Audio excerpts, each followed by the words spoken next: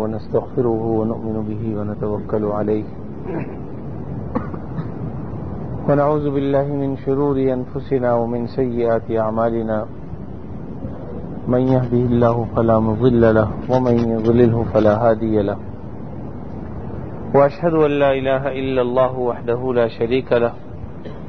وأشهد أن سيدنا وسندنا ومولانا محمدا عبده ورسوله.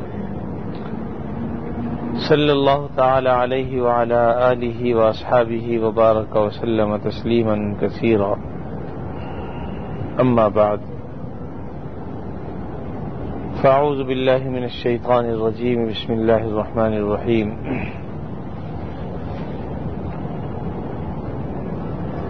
ولا تقولوا لمن يقتل في سبيل الله أموات بل أحياء ولكن لا تشعرون. صدق الله العظيم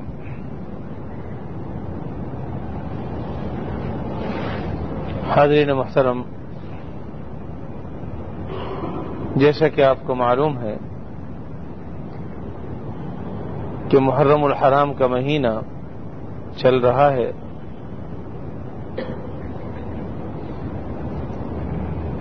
اسلامی سال کی ابتدا اسی مہینے سے ہوتی ہے۔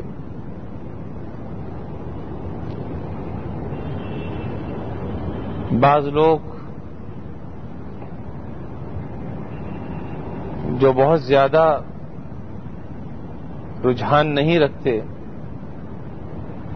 بلکہ بعض ایسے بھی ہیں جو رجحان رکھنے کے باوجود بھی انہیں اسلامی تاریخیں یاد نہیں ہوتی۔ یہ بھی نہیں پتا ہوتا کہ یہ اسلامی کون سا سال ہے ہجری کا۔ تو ہمیں اس طرف بھی توجہ کرنی چاہیے کہ اپنا اسلامی سال نہ فراموش کریں۔ عام طور پر اس کی عادت ڈالیں خط و کتابت میں۔ اور ویسے بھی کہ جب ہم دوسری تاریخ لکھیں تو اولن پہلے اسلامی تاریخ لکھیں، پھر دوسری تاریخ لکھیں۔ نظام دونوں اللہ ہی کے بنائے ہوئے ہیں۔ شمسی نظام ہو یا قمری نظام۔ یہ قمری تاریخیں کہلاتی ہیں، وہ شمسی تاریخیں کہلاتی ہیں۔ سورج کا نظام بھی اللہ ہی چلا رہے ہیں۔ چاند کا نظام بھی اللہ تعالی ہی چلا رہے ہیں۔ ناجائز نہیں ہے وہ تاریخیں بھی سارا کا سارا نظام تو اللہ رب العزت ہی کے تابع ہے، اس کے حکم کا پابند ہے۔ لیکن یہ کہ چونکہ اسلامی غیرت کا تقاضا بہرحال یہ ہے کہ ہم اسلامی تاریخوں کو فراموش نہ کریں اور چونکہ بہت ساری چیزیں ایسی ہیں کہ جس میں اسلامی تاریخوں کا اعتبار اور لحاظ کیا جاتا ہے۔ حج ہے، روزے ہیں، زکوٰۃ ہے۔ تو اس میں خاص طور پر اسلامی تاریخوں کا خیال رکھنا چاہیے۔ عام طور پر لوگ اس سے بہت ہی زیادہ غفلت میں مبتلا ہیں کہ زکوٰۃ جو ادا کرتے ہیں تو انہیں انگریزی تاریخیں تو یاد رہتی ہیں، لیکن اسلامی تاریخ میں وہ کب صاحب نصاب ہوئے، اس کا علم کسی کو نہیں ہوتا۔ اس لیے اس کا اہتمام کرنا چاہیے کہ ہم سب سے پہلے، پہلی مرتبہ جب ہمارے پاس مال آیا جس سے ہم صاحب نصاب بنے، تو وہ اسلامی تاریخ کون سی تھی؟ پھر ہمیشہ اس اسلامی تاریخ کو ہی اپنا نصاب کا سال سمجھیں کہ یہ ایک سال ہمارا ہو گیا۔ تو بہرحال یہ تو ایک ضمنی بات تھی جو میں نے عرض کر دی کہ اسلامی مہینہ بھی شروع ہے اور سال بھی شروع ہو چکا نیا، چودہ سو ستائیس ہجری۔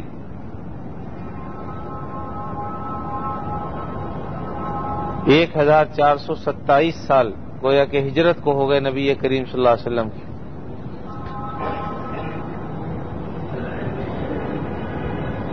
اور یہ بات بھی میں نے عرض کی تھی کہ ہمارے ہجری سال کا معاملہ یہ ہے کہ اس کا اختتام بھی شہادت پر ہے، ابتدا بھی شہادت سے ہے۔ سیدنا عثمان غنی رضی اللہ تعالیٰ عنہ جو اٹھارہ ذی الحج کو شہید کیے گئے، تو گویا اسلامی مہینوں میں آخری مہینہ۔ اور محرم الحرام جس میں سیدنا عمر فاروق رضی اللہ تعالیٰ عنہ نے جام شہادت نوش کیا۔ سیدنا حسین رضی اللہ تعالیٰ عنہ جام شہادت نوش کیا۔ تو یہ محرم الحرام اسلامی مہینوں میں پہلا مہینہ ہے۔ تو گویا ابتدا بھی شہادت سے، انتہا بھی شہادت پر۔ سیدنا عمر فاروق رضی اللہ تعالیٰ عنہ کی ذات گرامی ان لوگوں میں سے ہے کہ جنہوں نے اپنا خون دے کر اسلام کی آبیاری کی۔ دنیا میں کوئی شخص ان کی نظیر پیش نہیں کر سکتا۔ ان کے عدل و انصاف کی، ان کے زہد و تقوی کی، ان کی پرہیزگاری کی کوئی آدمی مثال پیش نہیں کر سکتا، نظیر پیش نہیں کر سکتا۔ اسی لیے بعض رات نے فرمایا کہ اللہ اب دوسرا عمر تو پیدا نہیں ہو سکتا۔ اس لیے کہ عمر جیسا مثالی عدل کہاں سے لائے گا وہ؟ لیکن اللہ سے یہ دعا کرتے ہیں کہ اللہ تو ان کا کوئی غلام پیدا کر دے۔ جو کچھ مثالیں سیدنا عمر فاروق رضی اللہ تعالیٰ عنہ کی قائم کر تاریخ اسلام پر نظر دوڑائیں تو سیدنا عمر فاروق رضی اللہ تعالیٰ عنہ سب سے بلند و بالا اور ممتاز نظر آتے ہیں۔ بہت سے معاملات۔ اسی طریقے سے اگر ویسے انسانی تاریخ پر ہم نظر دوڑائیں تو محض دس بارہ سال کی مدت پر خلافت جس کی یعنی جس کا دورانیہ صرف دس بارہ سال ہو، ساڑھے بارہ سال غالباً خلافت کا زمانہ ہے، لیکن ساڑھے بائیس لاکھ مربع میل کا علاقہ فتح کیا۔ ساڑھے بائیس لاکھ مربع میل پر حکومت تھی سیدنا عمر فاروق رضی اللہ تعالیٰ عنہ۔ محض دس بارہ سال۔ ہمارے یہاں تو پچاس سال میں بھی ایک انچ زمین کا ٹکڑا ہم کہیں سے نہیں لے سکتے۔ گوا تو دیا۔ لیکن سیدنا عمر فاروق رضی اللہ تعالیٰ عنہ کا معاملہ یہ تھا۔ ساڑھے بائیس لاکھ مربع میل معمولی بات نہیں ہے۔ اور انگریز تاریخ دان یہ کہنے پر مجبور ہیں کہ اگر ایک اور عمر پیدا ہو جاتا تو پوری دنیا پر اسلام کی حکمرانی ہوتی۔ تو یہ سعید عمر فاروق رضی اللہ تعالیٰ اپنے ہاتھوں سے سارا کام کرنا۔ زہد و تقوی کی ایسی مثال کہاں سے لائیں کہ جب تھک جاتے تھے مسجد نبوی کے مٹی کے فرش پر کہیں بھی پڑھ کر لیٹ جاتے تھے، سو جاتے تھے۔ کوئی کرتا ایسا نہیں تھا جس میں بارہ پیوند نہ لگے ہوئے ہوں۔ بارہ بارہ پیوند ایک ایک کرتے پر لگے ہوئے ہوتے تھے۔ سر پر امامہ بھی بعض اوقات پھٹا ہوا ہوتا تھا۔ پیروں میں جو جوتی اور چپل ہوتی تھی، وہ بھی پھٹی ہوئی ہوتی تھی۔ ظاہری دنیا کا کر و فر کہیں نظر نہیں آتا تھا۔ لیکن سیدنا عمر فاروق رضی اللہ تعالیٰ عنہ وہ شخصیت ہیں کہ جن کا نام سن کر قیصر و کسرا لرزہ بر اندام ہو جاتے تھے۔ لیکن خود ان کے دل میں اللہ کا خوف اتنا تھا کہ پوچھیے مت۔ حضرت طلحہ رضی اللہ تعالیٰ عنہ فرماتے ہیں کہ ویسے تو اور صحابہ کرام بھی اپنے مقام پر ہیں، لیکن دنیا سے جیسی بے رغبتی سیدنا عمر فاروق رضی اللہ تعالیٰ عنہ کو تھی، ایسی بے رغبتی کی مثالیں کم کم ہی ہیں۔ چنانچہ بعض اوقات کیسر و کسرا کے سفیر آتے تھے اور آپ اسی شان استغنا کے ساتھ جس حال میں کہ رہتے تھے، اسی حال میں ان سے ملاقاتیں کرتے تھے۔ بعض اوقات بعض صحابہ دل سے چاہتے تھے کہ اللہ نے کچھ خوشحالی بھی عطا فرما دی ہے تو لباس ذرا بہتر ہو جائے۔ لیکن کسی کو جرت نہیں ہوتی تھی یہ بات کہنے کی۔ بات یہ ہے کہ آج ہم لوگ ہزاروں روپے کا لباس پہنتے ہیں، لیکن اندر ہمارے کچھ نہیں ہوتا۔ قیمتی لباس، قیمتی گاڑیاں، قیمتی گھر، بینک بیلنس فیکٹریاں حشم و قدم، نوکر، چاکر، ملازمین کی ایک فوج، یہ سب ہمارے ساتھ ہے، لیکن اندر کے جوہر سے ہم خالی، ہمیں سکون نہیں ہے۔ لیکن سیدنا عمر فاروق رضی اللہ تعالیٰ عنہ وہ تھے کہ تھے تو سادہ، لیکن قیصر و کسرا کانپتے تھے۔ اور جب چلتے تھے تو کوئی ہٹو بچوں کی سدائیں نہیں ہوتی تھی۔ کوئی دائیں بائیں نوکر نہیں ہوتے تھے۔ کسی کی بھی ضرورت پوری کرنے کے لیے اپنے کاندھے پر بوری اٹھائی اور کسی کے گھر پر پہنچا دی کیا آج کا کوئی حکمران اس کی کوئی مثال پیش کر سکتا ہے۔ ساڑھے بائیس لاکھ مربع میل کے مالک، لیکن یہ علاقے بھی ایسے فتح کیے کہ نہ کسی پر ظلم کیا، نہ کسی کا باغ اجاڑا۔ نہ کسی کو نہ کسی بوڑھے کو قتل کیا، نہ کسی بچے پر ظلم کیا، نہ کسی عورت کی عزت پامال ہوئی۔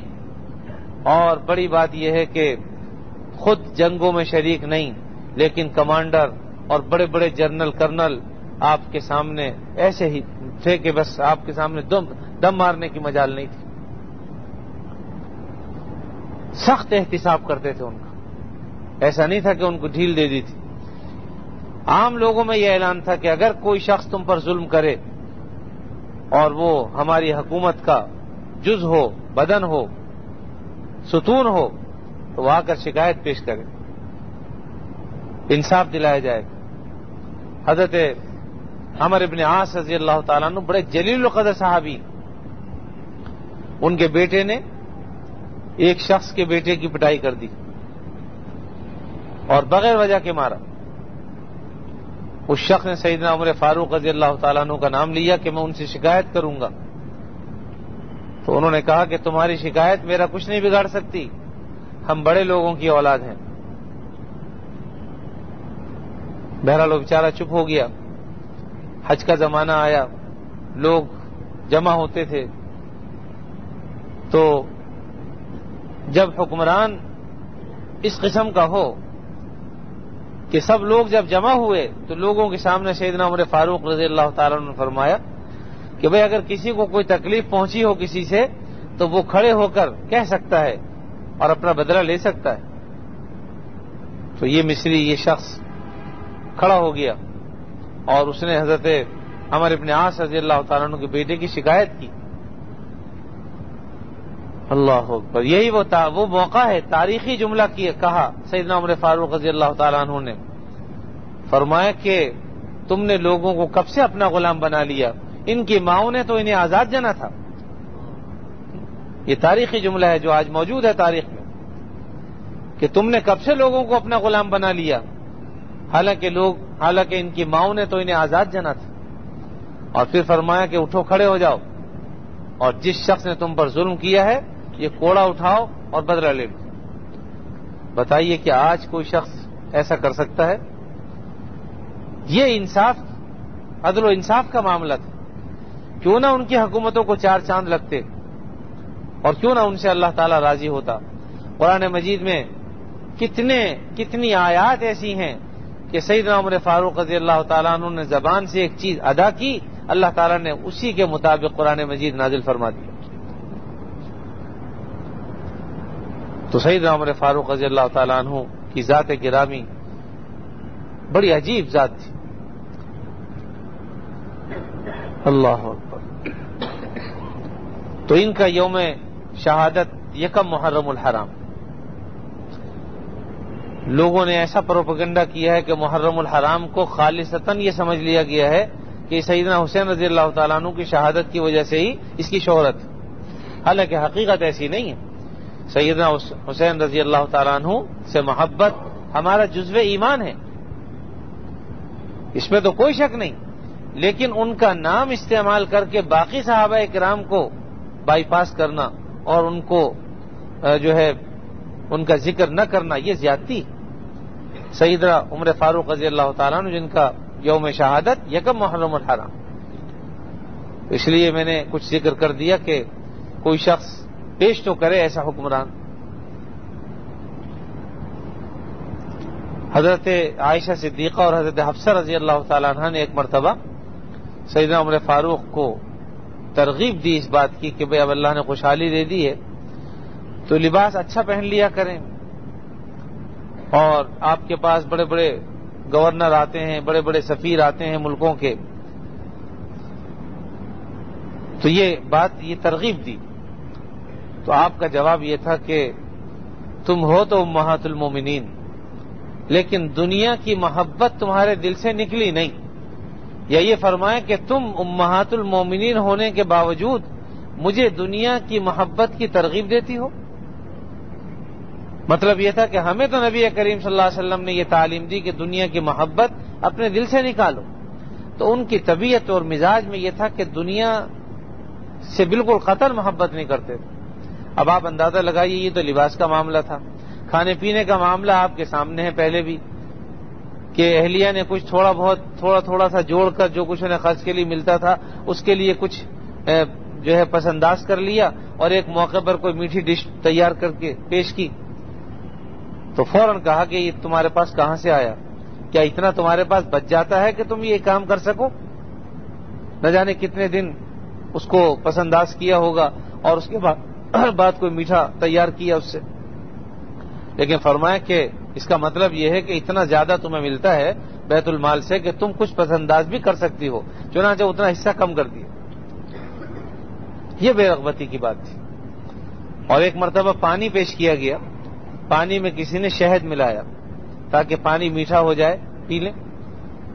تو پہلے تو اللہ تعالیٰ کی نعمت کی بہت تعریف کی گئی، پانی اور اس میں جو ملا وہ شہد ہے، انتہائی پاکیزہ طیب اور طاہر ہے اور بہت بڑی نعمت ہے۔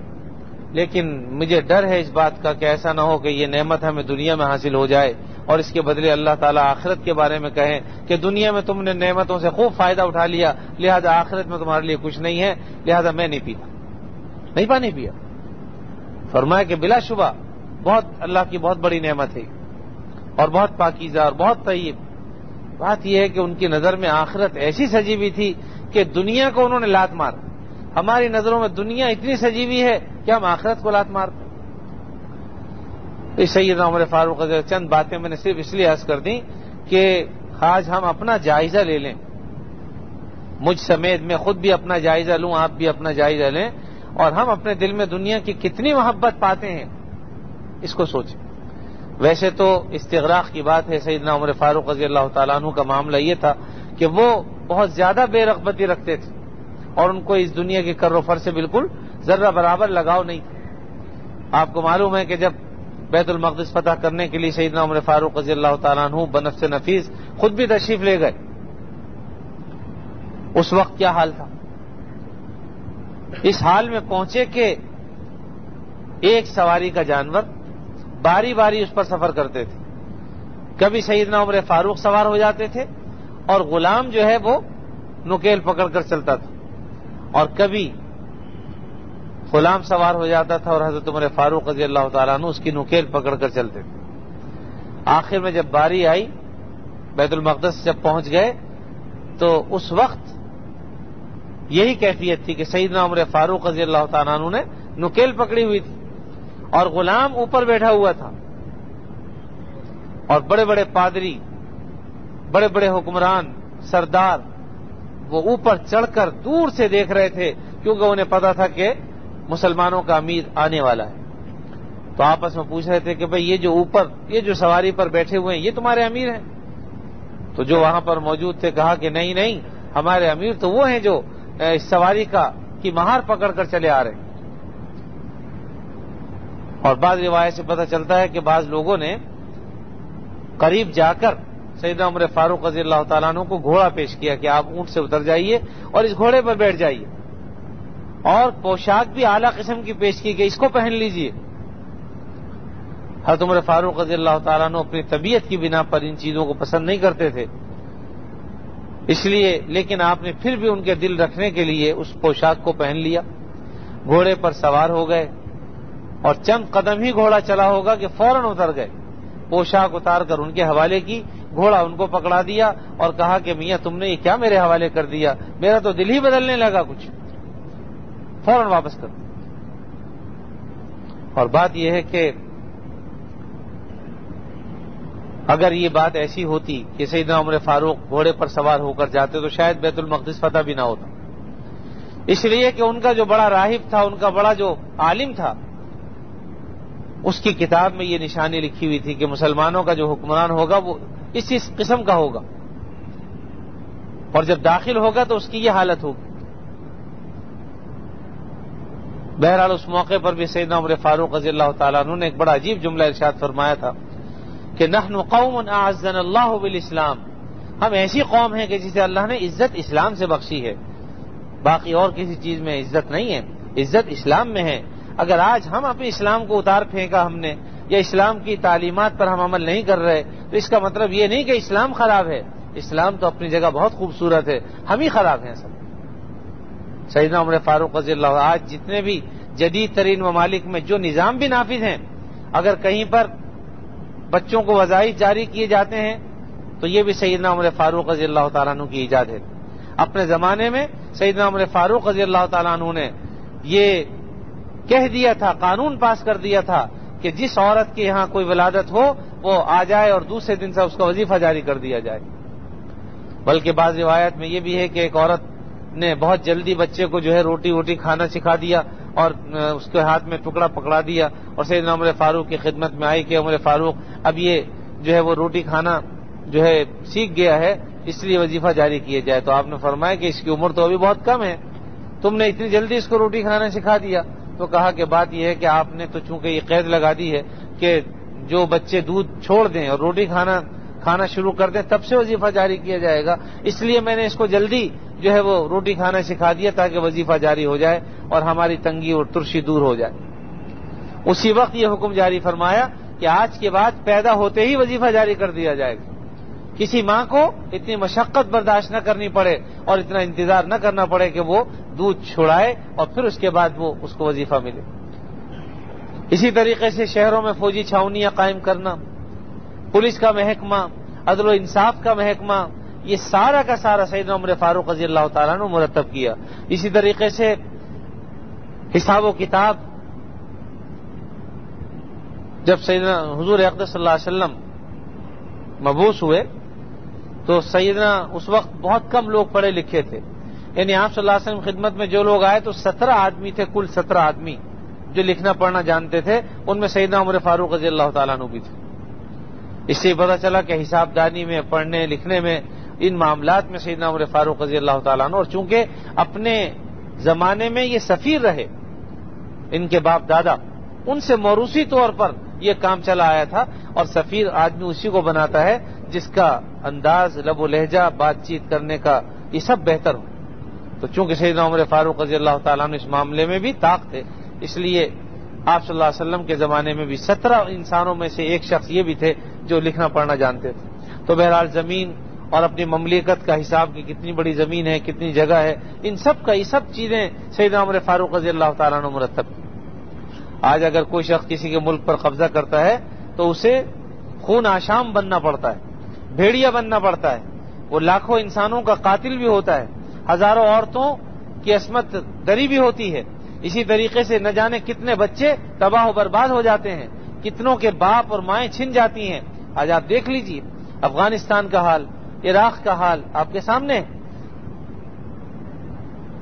تو ہم خانہ پوری کے لیے بھی اگر کسی کی مثالیں پیش کر سکتے ہیں، تو آپ اندازہ لگا لیجیے کہ اس میں چاہے ڈیگال ہو، چاہے بنا پاٹ ہو چاہے جو ہے وہ سکندر ہو یا دوسرا جو بھی ہو، ان کے نام اگر ہم لے لیں تو پھر ہمیں خوف خدا کو دل سے نکالنا ہوگا، اپنے ضمیر کو مارنا ہوگا۔ لیکن سعید عمر فاروق رضی اللہ تعالیٰ نے جو نبی کریم صلی اللہ علیہ وسلم کے غلاموں میں سے ایک غلام تھے، ان کو آپ پیش کر سکتے ہیں مثال کے طور پر کہ یہ تھے سعید عمر فاروق رضی اللہ تعالیٰ اللہ تعالیٰ ہمیں ان کی محبت نصیب فرمائے۔ بات یہ ہے کہ جس سے محبت ہوتی ہے اللہ تعالیٰ اپنے فضل و کرم سے انہی کے ساتھ ان کا حشر فرما دیتے ہیں۔ اس لیے سچی بات یہ ہے کہ ہم تو الحمد ہمیشہ دعا کرتے ہیں کہ اللہ ہمیں ہمارا ہمارا شمار بس ان کے غلاموں میں ہو جائے، ان کے قدموں میں ہو ہمارا، ہم ان کے قدموں میں ہو۔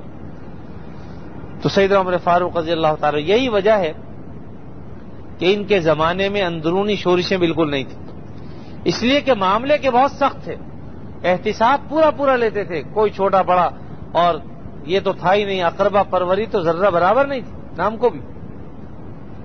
پسند ہی نہیں کرتے تھے اس بات کو۔ اور یہی وجہ تھی کہ کسی شخص کو انگلی اٹھانے کی بھی ضرورت نہیں ہوتی۔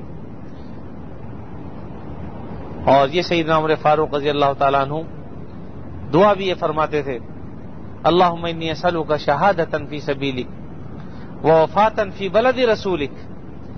کہ اللہ میں چاہتا ہوں کہ آپ کے راستے میں میں شہید ہوں۔ اور تیرے نبی صلی اللہ علیہ وسلم کے شہر میں میری وفات ہو۔ اللہ عمنی سلو کا شہادتن فی سبیلک، تیرے راستے میں میری شہادت ہو۔ وہ وفاتن فی بلد رسولک، اور وفات ہو تو رسول علیہ السلاۃ والسلام کے شہر میں ہو۔ اللہ تعالیٰ نے دونوں دعائیں قبول فرمائی مغیرہ بن شعبہ کا ایک غلام جو مجوسی تھا سعید عمر فاروق کی خدمت میں آیا۔ اور شکایت کی اپنے مالک کی کہ مجھ سے جو وہ ٹیکس لیتے ہیں وہ بہت زیادہ ہے۔ فرمایا کتنا لیتے ہیں؟ کہا کہ دو درہم۔ کہا کہ تم جیسے کاریگر کے لیے دو درہم تو بہت کم ہے یعنی کوئی زیادہ نہیں ہے یہ۔ دو درہم اگر تم سے وہ لیتے ہیں تو بہت زیادہ نہیں ہے تمہاری آمدنی، اس سے بہت زیادہ ہے۔ لہذا میں نہیں سمجھتا کہ اس میں مزید کمی کی جائے۔ لہذا یہ مناسب۔ تو یہ شخص اپنے دل میں کینا لے کر گیا۔ سعید عمر فاروق رضی اللہ تعالیٰ عنہ کی طرف سے دل میں دشمنی لے کر گیا۔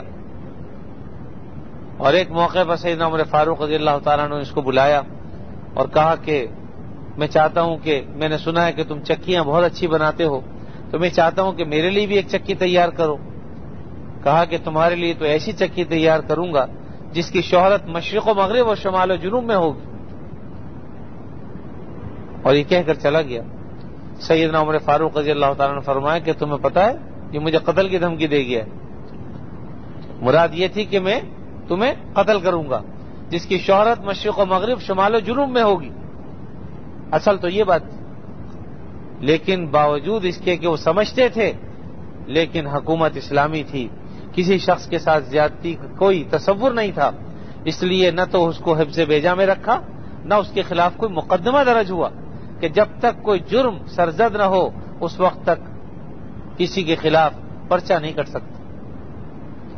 تو یہ سید عمر فاروق رضی اللہ تعالیٰ نے پھر اسی بدبخت شخص نے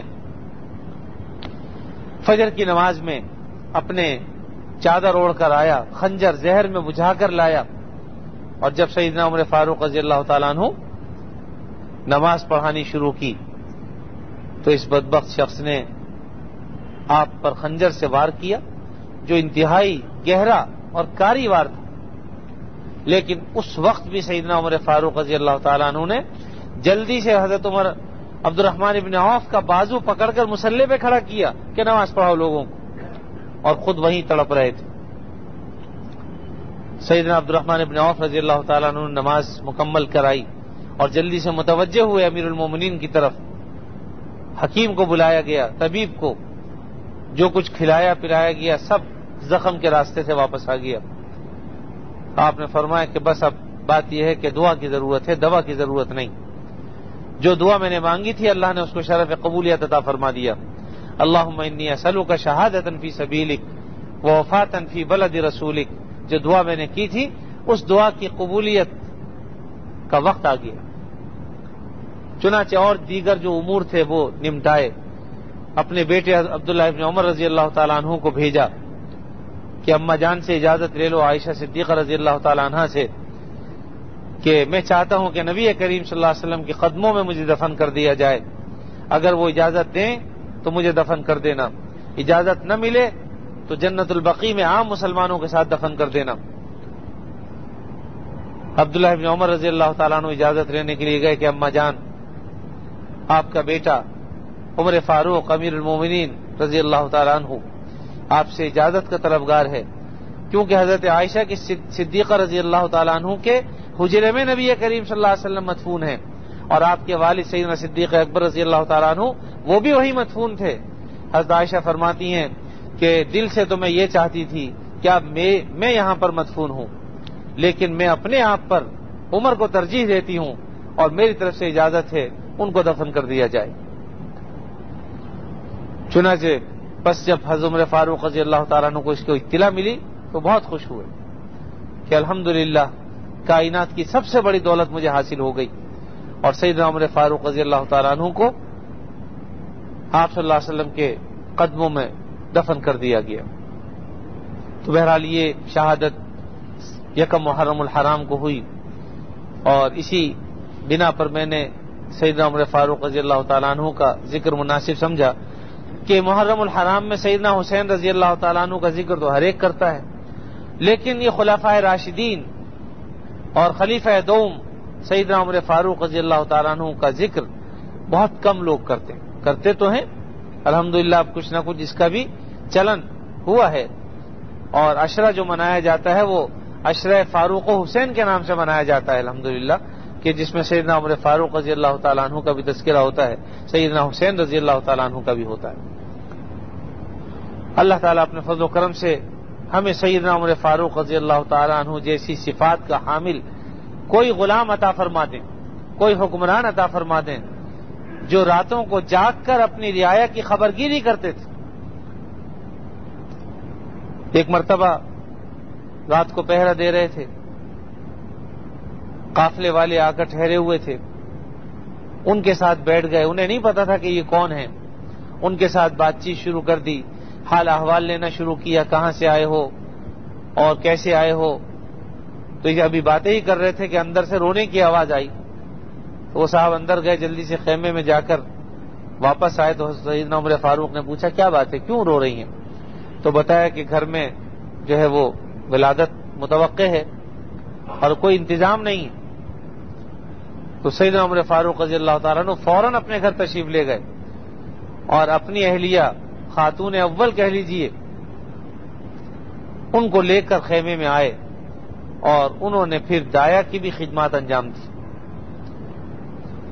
اور جب ان کے یہاں ولادت ہو گئی تو اندر سے آواز آئی کہ امیر المومنین اپنے دوست کو بیٹے کی خوشخبری دیجیے تو اب یہ صاحب چونکے، اب انہیں پتا چلا کہ امیر المومنین میرے ساتھ بیٹھے ہوئے ہیں۔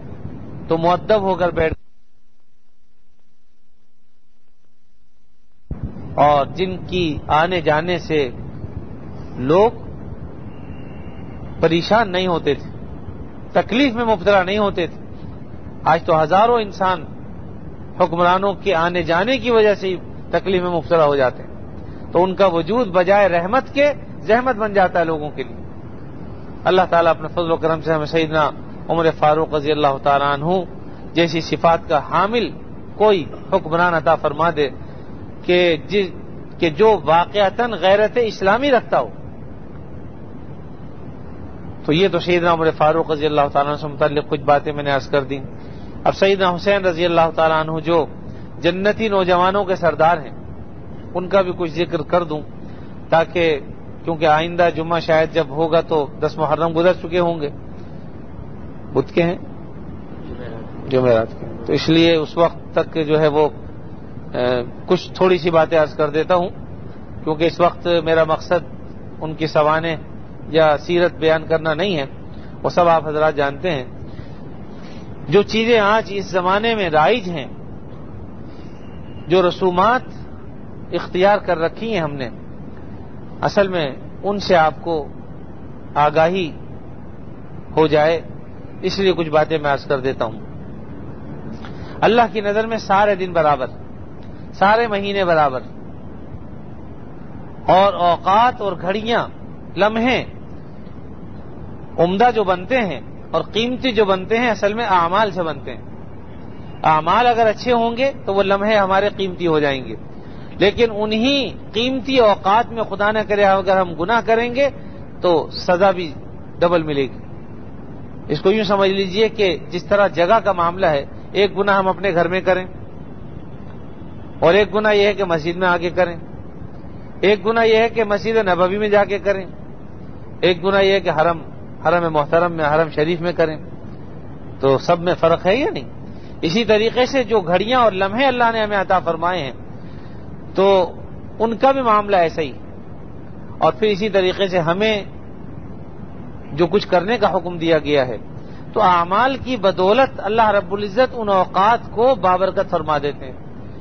اب شب قدر اپنی جگہ بہت بابرکت رات ہے، لیکن کوئی شخص اگر اس میں نہ جاگے، نہ عبادت کرے، نہ اللہ کو یاد کرے، نہ گناہوں سے توبہ کرے، نہ شراب خوری چھوڑے اور نہ بدکاری چھوڑے، تو بتائیے اس کے لیے وہ بابرکت رات ہے یا نہیں؟ اس کے لیے بابرکت نہیں اگر اعمال اختیار کرے گا تو اسی لیے کسی نے کہا کہ ہر شب شب قدر است، اگر قدر بدانی ہر رات شب قدر کی رات ہے اگر تم قدر سمجھو۔ اور اگر تم قدر نہ کرو، تو پھر شب قدر بھی تمہارے لیے کام رات۔ اس لیے جو مہینہ چل رہا ہے، محرم الحرام کا، اس مہینے میں ہمارے لیے یوم عاشورہ، دس محرم الحرام۔ یہ فضیلت والا دن۔ اس میں نبی کریم صلی اللہ علیہ وسلم نے ہمیں روزہ رکھنے کا حکم فرمایا ہے۔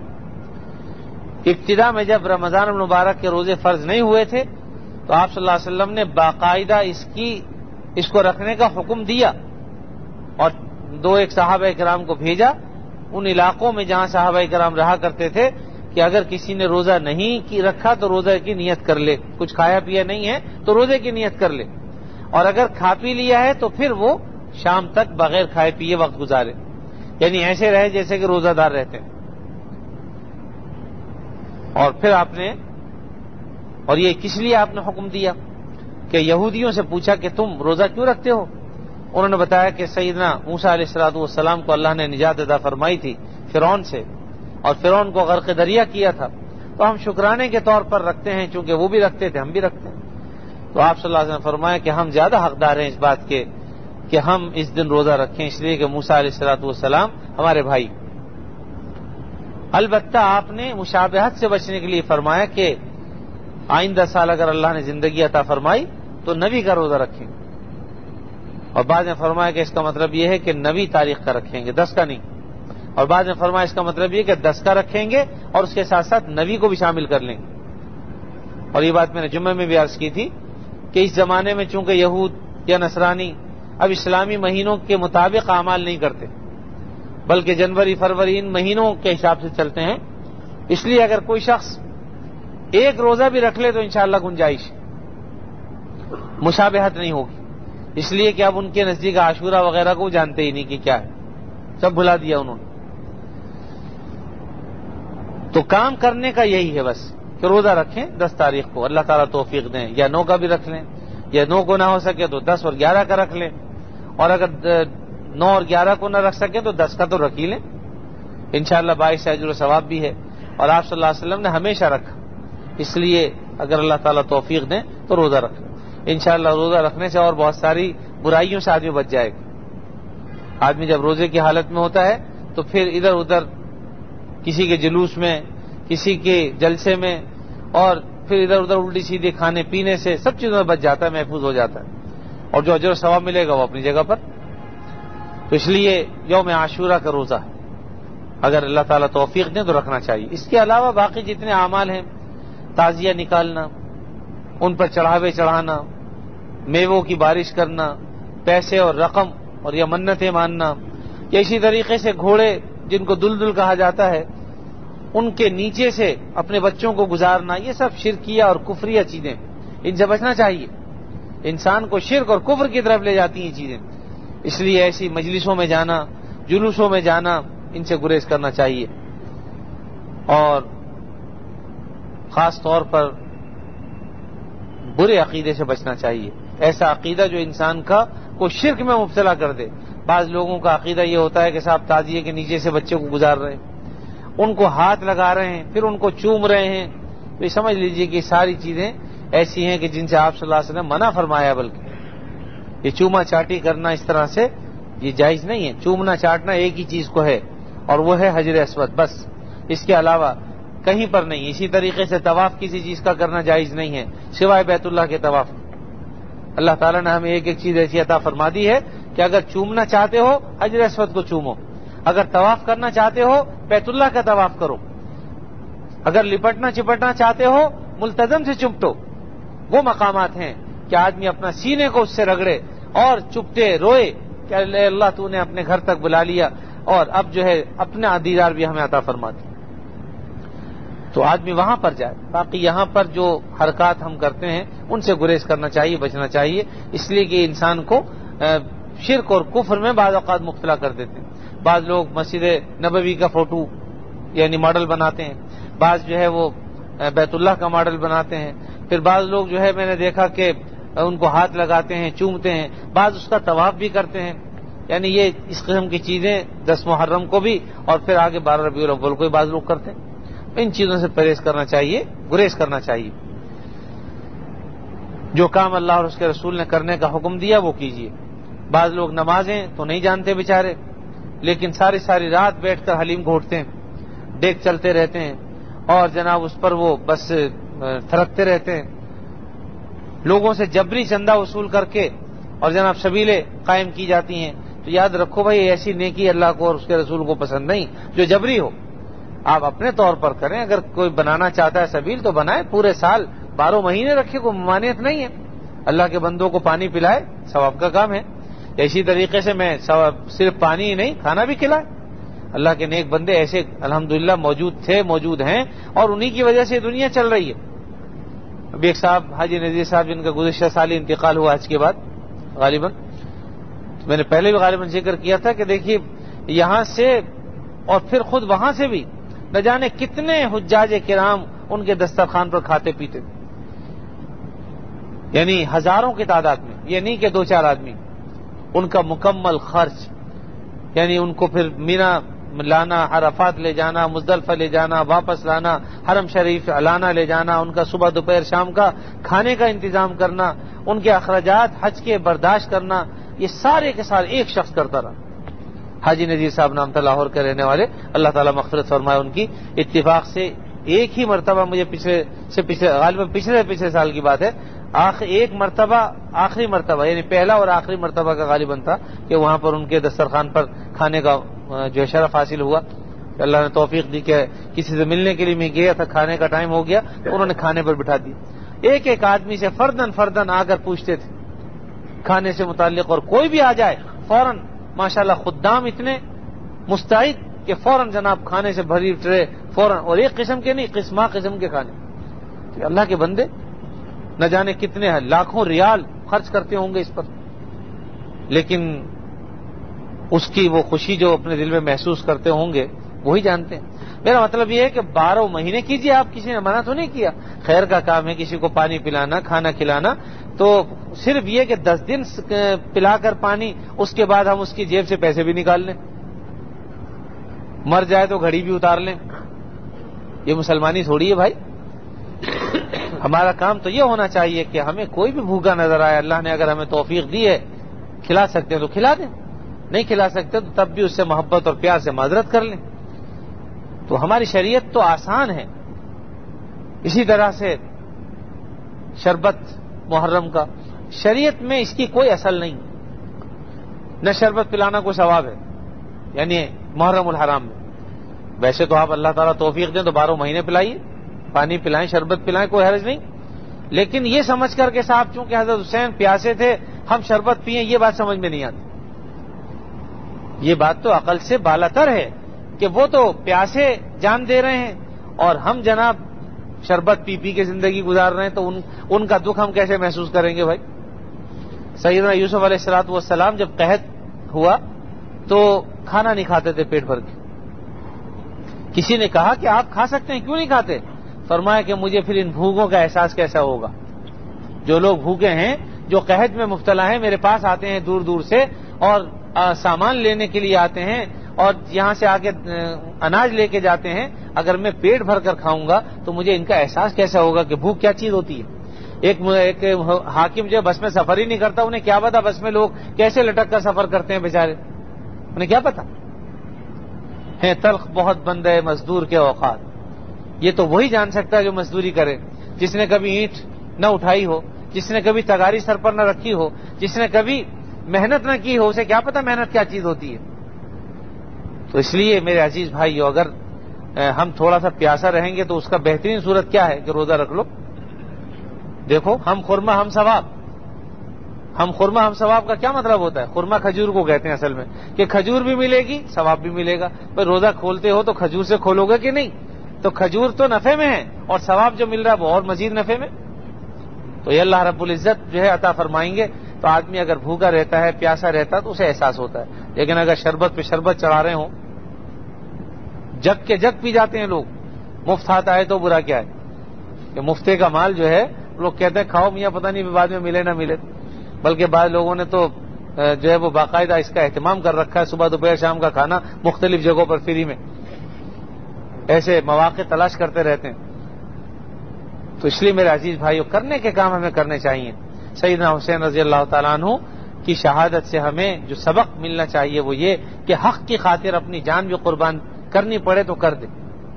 اسی طرح سے اللہ تعالیٰ کے جو فرائض و واجبات ہیں، ان کی ادائیگی کا اہتمام آخر دم تک کرے۔ دیکھیے سیدنا حسین رضی اللہ تعالیٰ عنہ سجدے میں تھے جب ان کا سر کاٹا گیا۔ اس کا مطلب یہ ہے کہ نماز اور فرض کی ادائیگی اس وقت بھی ان کے سامنے سب سے بڑی چیز تھی۔ آج ہمارے ذرا سے پیٹ میں درد ہو جائے تو نماز غائب۔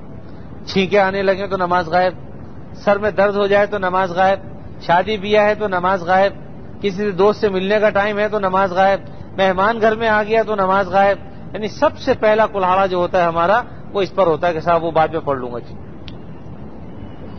وہ کسی نے خوب کہا نا کہ نماز سے مت کہو۔ کیا ہے جی؟ کہ مجھے فرصت نہیں۔ سمجھ آئی کہ نہیں؟ وقت سے کہو کہ مجھے نماز پڑھنی۔ تو نماز کے اوقات میں نے دیکھا، الحمدللہ بعض لوگ ایسے ہیں، مسجد میں بھی آتے ہیں، ہماری اللہ کا احسان ہے، کہ بعض اوقات صدر سے سفر کر رہے ہوتے ہیں اور ٹریفک میں پھنس گئے۔ مغرب کی نماز کا مثلا وقت ہے۔ تو وہ کہیں بھی اتر جاتے ہیں جہاں مسجد قریب ہو، صرف نماز پڑھنے کے لیے۔ اور یہ تو خیر معمولی سفر ہے یہاں تک۔ آج کل تو لوگ اس کی بھی زحمت نہیں کرتے۔ میں نے اپنے ایک استاد تھے زمان عبد المجید صاحب، آج کل جو پاکستان سے باہر ہیں، اللہ تعالیٰ ان کے درجات کو بلند فرمائے۔ تو بہت بڑے عالم دین ہیں الحمد میں نے ان کو دیکھا کہ جب وہ سفر پہ جاتے تھے، مثلا ملتان سے انہوں نے فیصلہ آباد جانا ہے یا لاہور جانا ہے، تو پہلے بات کرتے تھے ڈرائیور سے بھائی نماز کے وقت میں تم گاڑی روکو گے، تب تو میں ٹکٹ پورا آخر تک کٹاؤں۔ نماز پڑھوا کے اگر لے چلو تو۔ لیکن اکثر لوگ ایسے ہوتے تھے، کہتے تھے، ہم نے گاڑی نہیں روکنی، آپ کسی اور بس میں چلے جائیں، کہ ہمارے مسلمانوں کا حال۔ تو پھر وہ وہاں تک کا ٹکٹ لیتے تھے جہاں پر نماز کا وقت ہو جائے۔ اور وہاں اتر کر نماز پڑھتے تھے، اس کے بعد پھر دوسری بس پکڑ کے پھر روانہ ہوتے تھے تو یہ بڑی بات ہے، معمولی بات نہیں ہے۔ نمازوں کے اوقات کو ہم ضائع کر دیتے ہیں، اور اس طرف ہماری توجہ ہی نہیں ہے۔ تو اس لیے میرے عزیز بھائی سبق تو ہمیں یہ حاصل کرنا چاہیے۔ سیدنا عمر فاروق رضی اللہ تعالیٰ نے بھی دیکھی فرض کو کیسی اہمیت دی کہ خود زخمی ہے لیکن اس وقت بھی یہ خیال ہے کہ لوگوں کو جو نماز پڑھائی جا رہی ہے، اس کی تکمیل ہو جائے۔ حضرت الرحمان ابن عوف کو آگے کر دیا ہاتھ پکڑ۔ اور سیدنا حسین رضی اللہ تعالیٰ عنہ کا معاملہ یہ ہے کہ شہید ہو رہے ہیں تو اس وقت سیدے میں۔ تو اللہ تعالیٰ اپنے فضل و کرم سے ہمیں ان حضرات کا ادب کرنے کی بھی توفیق عطا فرمائے۔ ان حضرات کے نقش قدم پر چلنے کی توفیق عطا فرمائے۔ اصل میں یہی ہیں بڑے لوگ۔ آدمی بڑا پیسے سے نہیں بنتا، ورنہ تب فرون حامان، قارون، شداد، یہ سارے بڑے لوگ تھے۔ پھر آدمی پیسہ بنتا کردار سے بڑا، اخلاق سے، دین پر چلنے سے۔ اور دین ہمیں اخلاق سکھاتا ہے۔ تو اس لیے پوری کوشش کرنی چاہیے کہ ہمارے اخلاق درست ہوں، مسلمانوں کے ساتھ، محبت کے ساتھ پیش آئیں۔ کوئی بات، بلا شبہ ہم سب کسی نہ کسی برائی میں مبتلا ہیں۔ کوئی شخص یہ نہیں کہہ سکتا کہ صاحب، مجھ سے کوئی گناہ سرزد نہیں ہوتا۔ گناہ بھی ہوتے ہیں۔ بعض اوقات بد اخلاقی سے ہی پیش آتے ہیں۔ لیکن ہمیں اس کا احساس کرنا چاہیے۔ اور جب کوئی آدمی ہمارے ساتھ بد اخلاقی کرے، تو اس کو پھر اخلاق سے سمجھا دیں کہ بھائی، جو تم رویہ اختیار کر رہے ہو، یہ مناسب نہیں۔ ورنہ لڑائی کا بڑھانا کیا ہے؟ پنجابی کی مثال یہ ہے کہ بھائی، دودھ کا اور لسی کا کیا بڑھانا؟ لڑائی کا اور لسی کا کیا بڑھانا؟ ایک گالی اس نے دی، ایک آپ بھی دے دو، ایک تھپڑ اس نے لگایا، آپ گھوسا لگا دو، بڑھتی چلی جائے گی جتنی چاہو بڑھا لو۔ اور لسی کا بھی یہی ہے کہ بھائی اگر کوئی مہمان آ گیا، چلو بھائی آدھا کلو دہی کی لسی بنائیے، ایک گلاس اور ڈال لو بھائی اس میں۔ دو آ گئے تو دو گلاس ڈال لو بھائی مسئلہ تو نہیں، بڑھ جائے گی، وہ بھی پی لے گا۔ اور ہمارے یہاں تو تکلفات بہت آ گئے ورنہ حدیث میں آتا ہے کہ بھائی اگر تم کسی اپنے پڑوسی کو کھانا بھیجنا چاہتے ہو، تو ایک گلاس پانی بڑھا لو سالن میں۔ آپ نے نہیں فرمایا کہ گوشت زیادہ خریدو۔ فرمایا کہ جو سالن تم نے بنایا ہے، اسے پتلا کر لو تھوڑا سا، تاکہ تمہارے پڑوسی بھی مستفید ہو جائیں۔ تو اگر بھیجنے کی نیت ہو تو کم از کم تھوڑا زیادہ کر لو۔ تو بہرحال یہ طریقہ اسلام کا ہے۔ اللہ تعالیٰ اپنے فضل و کرم سے ہمیں پورے پورے دین پر چلنے کی توفیق ادا فرمائے۔ اور جو خامیاں، خرابیاں ہم میں ہیں، ان سے بچنے کی ایک بات رہ گئی کہ لوگ اس مہینے میں بعض لوگ جو ہے وہ اپنے بچوں کو امام حسین کا فقیر کہلاتے اور یہاں ایک بات بتا دوں کہ امام تو ہمارے صحابہ سارے صحابہ کرام امام ہیں۔ لیکن آپ امام سیدنا صدیق اکبر کیوں نہیں کہتے مجھے بتائیے؟ امام عمر فاروق کیوں نہیں کہتے؟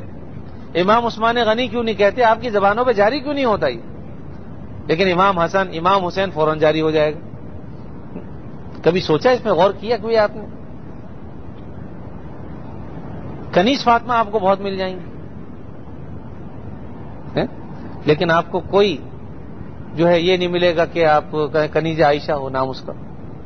اور کیجیے کنیز حفصہ کبھی سنا ہو؟ یا اور صحابیات ہیں بہت ساری۔ کنیز ام میمونہ کنیز ام حبیبہ۔ وجہ کیا؟ فریق مخالف کا پروپیگنڈا اتنا ہے کہ اس میں ہم بھی جو ہے وہ اس جھونکے میں چلے آئے۔ ہماری زبانوں پر بھی امام حسن، امام حسین۔ اصل میں بھائی، اس میں تو کوئی شک نہیں کہ وہ امام ہیں۔ لیکن یہ ان کا ایک عقیدہ ہے امامت کا۔ امامت کا عقیدہ کیا ہے؟ کہ جس طرح نبی معصوم ہوتے ہیں، ان سے غلطیاں نہیں ہوتی، گناہوں سے بالکل پاک ہوتے ہیں، اور وہ شارے ہوتے ہیں، شریعت کو تبدیل کر سکتے ہیں۔ حالانکہ نبی بھی شریعت کو تبدیل نہیں کر سکتا لیکن بعض لوگوں کا یہ عقیدہ ہے کہ جو ائمہ ہیں ائمہ چہاردہ معصومین کہتے ہیں، چہاردہ معصومین، چودہ معصومین، چودہ امام ہیں۔ تو ان میں سے حضرت حسین کو بھی، اسی لیے میں بار بار آپ نے غور کیا ہوگا، حضرت حسین کہتا ہوں۔ امام حسین یا امام حسن، بلا شبہ ہم مانتے ہیں کہ وہ امام ہیں، لیکن صرف انہی کو نہیں، ہم سیدنا صدیق اکبر سے لے کر ایک معمولی سے معمولی جو ہماری نظر معمولی نہیں، لیکن اس اعتبار سے، درجے کے اعتبار سے، ان سب کو اپنا امام مانتے ہیں۔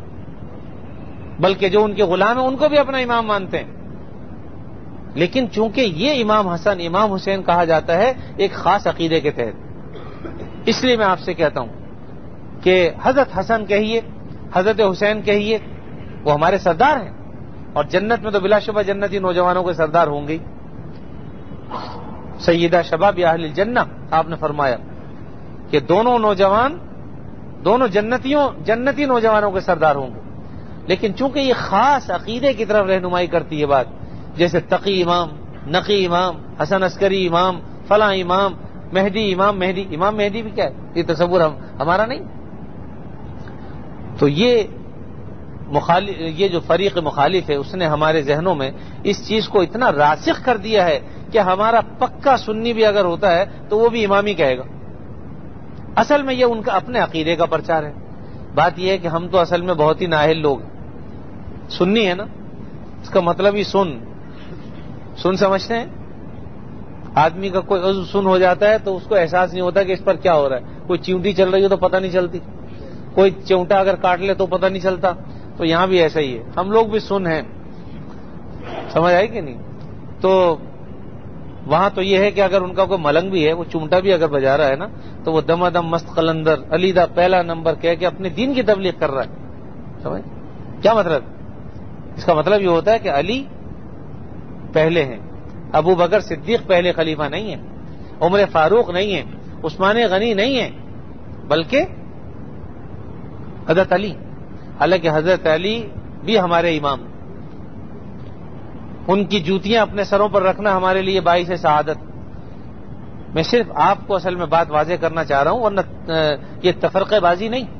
خدا نہ کرے میں کسی فریق کے خلاف نہیں، لیکن اتنا ضرور سمجھتا ہوں کہ اپنے آپ کو تو ہم ٹھیک کریں۔ ہمیں تو خود معلوم ہو اپنے دین کے بارے میں، تو وہاں تو ایک ملنگ بھی یہ کہہ رہا ہے اور اس کی دیکھ ہم دیکھ ہم بھی کہہ رہے ہیں دمادم مست قلندر ہاں؟ وہاں گانے والے، بجانے والے جس کو دیکھ لو، آج نہیں تو لوگ سب علی علی کہیں گے، سب کیا ہے؟ یہ اپنے دین کی تبلیغ ہے۔ لوگ ہم کہتے ہیں صاحب بڑا شاندار قوال ہے جی کیا بات ہے، نصرت فتح علی قوال ہے جی؟ اس کی تعریفیں ہو رہی ہیں سناخانی ہو رہی ہے، لیکن یہ نہیں پتا، وہ تو اپنے مسلک کی تبلیغ کر رہا ہے۔ اور ہم جو ہے وہ ہوشیار دشمن سے، کے سامنے بیوقوف بنے ہوئے۔ اس لیے اس کا خیال رکھنا چاہیے۔ سیدنا حسن، سیدنا حسین، دونوں کو ملائیں تو سیدنا حسنین کہہ دیجیے رضی اللہ تعالیٰ عنہما۔ تو ہمارے سر آنکھوں، تو بہرحال یہ اس اس زمانے میں کہتے ہیں کہ جی امام حسین کا فقیر، اس کو گھرے کپڑے پہنا دیتے ہیں۔ مانگ کے کھائے گا، مانگ کے پہنے گا۔ عقیدہ یہ ہے کہ اگر اس نے اپنا کھایا، اپنا پیا، تو سب مر جائے گا۔ کوئی اللہ تعالیٰ تو کچھ ہے ہی نہیں۔ الحاظ اللہ آدمی سوچے کہ اگر اپنے آپ کو کوئی بچا سکتا تو سیدنا حسین نہیں بچا سکتے تھے اپنے آپ کو۔ اگر یا علی مدد کہتے ہیں تو اگر مدد کرنے حضرت علی آتے تو حضرت علی اپنے بیٹے کی مدد کو کیوں نہیں آئے؟ ذہن میں بات آتی ہے کہ نہیں آتی؟ اس لیے یا اللہ مدد ہی کہیے۔ ان چیزوں کو جو آج رائج ہو گئی ہیں، ہم کم از کم اپنی سمجھ کی حد تک، فہم کی حد تک ہمیں معلوم ہونا چاہیے۔ یا اللہ مدد کہی۔ ہر معاملے میں اللہ کو پکاریے۔ باقی یہ کہ ہمارا عقیدہ ہے اگر بزرگان دین کا واسطہ دیا جائے تو کوئی حرج نہیں کہ اللہ اپنے نیک بندوں کے صدقے سے ہمارے گناہ معاف کر دے، کوئی حرج نہیں۔ اور ہمیں سب سے بہترین بات بتلا دی نبی کریم صلی اللہ علیہ وسلم نے کہ دعا مانگنے کا طریقہ بتا دیا کہ جب دعا مانگو، سب سے پہلے اللہ کے حمد و ثنا کرو۔ الحمد رب العالمین۔ دیکھیے دعا یہیں سے شروع ہوتی ہے۔ تمام تعریف اس اللہ کے لیے جو رب العالمین۔ سارے جہانوں کا رب۔ چاہیں تو پوری سورہ فاتحہ پڑھ لیجیے سب اللہ کے حمد و ثنا پر مشتمل ہے وہ۔ اور اس میں دعا بھی آ جاتی ہے دن اسرات المستقی کہ اللہ میں سیدھے راستے کی ہدایت عطا فرما۔ اور پھر اس کے بعد والعاقبت للمتقین۔ اچھا اچھا انجام کن کا ہے؟ متقیوں کا۔ اور پھر وسلاۃ وسلام علی رسول کریم یہ درود و سلام ہے آپ صلی اللہ علیہ وسلم پر۔ تو دعا کا طریقہ یہ ہے کہ سب سے پہلے اللہ کے حمد و ثنا پھر نبی کریم صلی اللہ علیہ وسلم پر درود و سلام اور پھر جو چاہے دعا مانگیے اور اس کے بعد پھر آخر میں وصلی اللہ تعالی علی خیر خلقہ محمد علیہ و اصحابہ اجمعین۔ یہ بھی درود شریف ہے۔ ہماری عقلوں میں نہیں آتا، بعض لوگ کہتے ہیں صاحب درود تو پڑھا ہی نہیں۔ ارے بھائی، وصلی اللہ تعالیٰ ہے کیا؟ صلی اللہ علیہ وسلم کیا ہے؟ یہ درود شریف ہی تو ہے۔ اور اس کا ترجمہ کیا؟ وصلی اللہ تعالیٰ علی خیر خلق ہی محمد۔ کہ اللہ اپنی رحمت نازل فرمائیے، مخلوق میں سب سے بہتر محمد صلی اللہ علیہ وسلم پر۔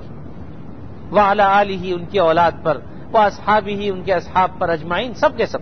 بتائیے کس کو چھوڑا اس میں؟ آل کے اندر سب آ گئے۔ آپ کی آل اولاد بھی آ گئی، اہل بیت آ گئے، ہم سب آ گئے۔ ہم بھی روحانی اولاد نے نبی کریم صلی اللہ علیہ وسلم۔ کہ سب پر اپنی رحمت نازل فرمائیے۔ کسی کا دل اگر اس سے بھی تسلی نہیں ہوتی تو چلو اللہ مسلح علیہ سیدنا مولانا محمد پڑھ لو بھائی۔ تو یہ اول آخر دروش پڑھ لیجیے انشاءاللہ اور یہ یقین رکھیے کہ جو دعا ہم نے کی اللہ تعالیٰ اس کو قبول فرمائیں گے لیکن چونکہ ہماری عقلیں محدود ہیں، اس لیے دعا میں یہ ضرور شامل کر لیں کہ اللہ ہمیں نہیں پتا ہم جو مانگ رہے ہیں ہمارے حق میں بہتر ہے یہ نہیں، لیکن آپ جانتے ہیں، اگر ہمارے حق میں بہتر ہو تو عطا فرما دیجیے حق میں بہتر نہ ہو تو اس کو دور فرما دیجیے اس سے بہتر چیز عطا فرما دیجیے یہ دعا مانگنے کا بھی طریقہ ہے تو بہرحال اللہ تعالیٰ اپنے فضل و کرم سے مجھے بھی آپ سب کو دین کی سمجھ بھی عطا فرمائے اور پورے پورے دین پر اللہ تعالیٰ چلنے کی توفیق عطا فرمائے۔ واخر دعوانا الحمد للہ رب العالمین۔